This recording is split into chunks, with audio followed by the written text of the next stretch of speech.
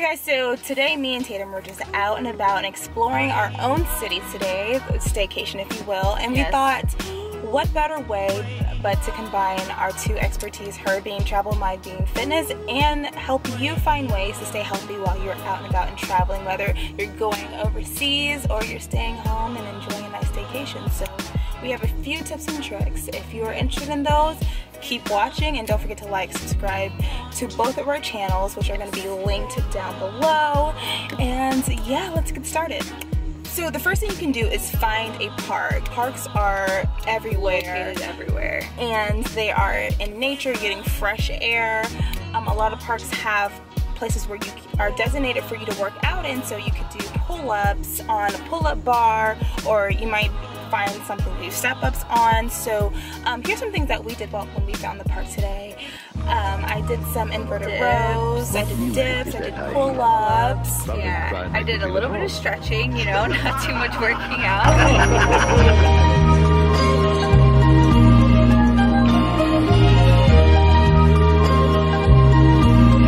Um, but definitely just a nice jog, you know. A lot of the parks in the big cities um, are really nice and they kind of um, are a lot of times in the middle, so it kind of helps you get to know your surroundings and things like that. So a nice jog in the park is perfect, you know, to stay fit and healthy. So anytime that you're traveling, maybe if not if you have huge baggage, but you should always take the stairs just because you know it gets a little booty workout in it helps you just kind of not be such a lazy piece of shit you know while you're traveling but it's true like you are on the second floor you know just take the stairs that's it that's all you have to do a lot of good things like if you do find a park that also has stairs you can do like calf raises you can do some hop and squats hop and squats some lunge switches. You can make it really fun and take your book bag along with you. That can add a little bit extra weight Yeah. to challenge you a little bit further. yeah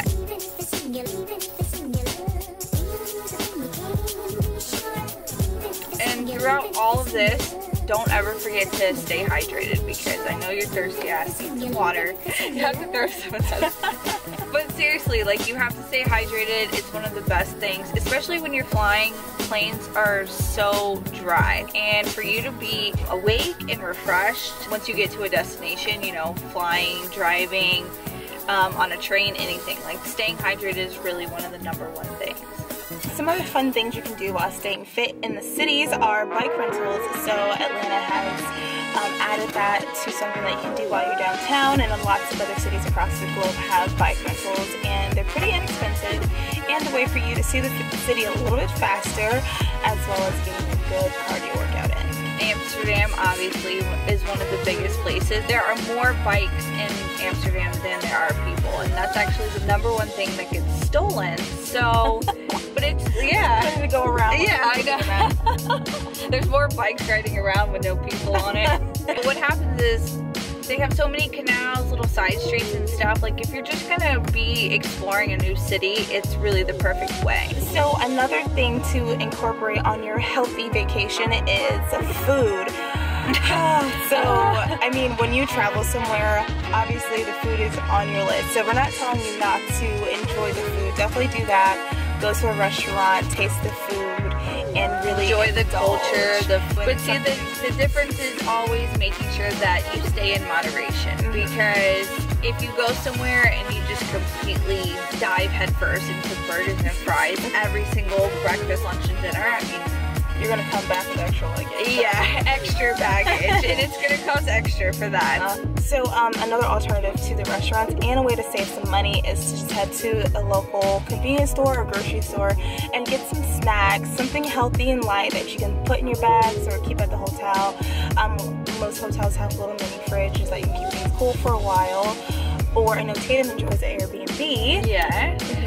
So in a lot of places, I remember me and my boyfriend stayed in Paris for a whole week, and that can get pretty expensive eating out every single day. So instead of having a big brunch, you know, we would take some fruit or, um, you know, carrots and things like that. Uh, we would eat that first and then kind of go out and maybe have a bigger lunch and a small dinner or something. But being able to cook and where you're staying really does help because you can kind of eat your own snacks, then you can go back later on at night. Just kind of make your own food and it helps save money and the other thing too is that if you're traveling for business, because not all travel is glitter and gold, um, try to maybe schedule some meetings that are before or after lunch or dinner because when you see other people indulging in things like burgers and fries and milkshakes and bottles of champagne, you know, like me, um, you are more likely to indulge in those kinds of things as well. So if you schedule meetings, you know, maybe before lunch or right after, or maybe like an after dinner kind of meeting, you're just le less likely to be unhealthy. So while you're at the hotel, there are plenty of ways to utilize that. Obviously, hotels have um, gyms that you can use. They usually have some weights, a treadmill, something small something, and light, yeah. so you can do a little 30 minutes uh, circuit training workout there or you can just use the quarters in the hotel. You can use There's lobby. so many little nooks and crannies. Mm -hmm. Use those stairs like we showed you guys earlier, and maybe whip out some nice pretty lunges mm -hmm. and work that booty in the hallway. I mean, okay, so basically this video is about how to make a big butt. Yeah, while you're on vacation. big booty travel. Big booty travels. that is my next YouTube channel. the biggest thing that you should always do no matter where you go is to just walk everywhere. Now I know a lot of other people kind of say that and that's just a universal thing, but it really is true besides obviously drinking water. But a lot of places, especially in Europe, they have lots of walking tours and it's a way for you to kind of get your bearings on the city while also kind of staying in shape. If you can walk instead of taking the subway or any of that, it's honestly the way to go. And now the last thing too, um, if you're in your hotel and you just don't feel like getting in a hallway and working your booty out, um, there's a really cool app called Sworkit. And if you're lazy like me, the most basic kind of thing that you can um, download. So it's pretty much you download the app and you put in the amount of time that you want to work out, let's say a minute. Um, let's go with five minutes if we're being really adventurous. So you put in 15 minutes, let's say, and you say you want to work out your legs or your arms.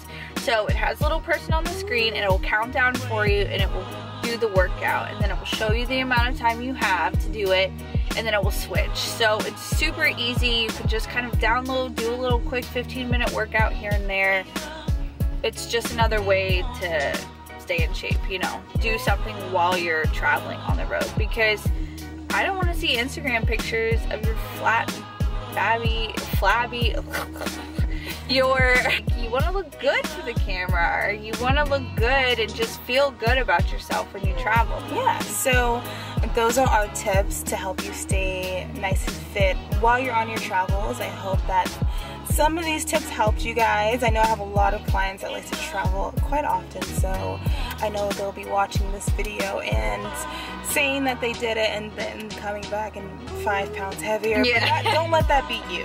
guys, thanks for watching. Um, like I said, make sure to like, comment, subscribe, and share this with a friend. If you have a friend who needs these tips, there'll be buttons everywhere. Bon voyage, bitches! Peace out.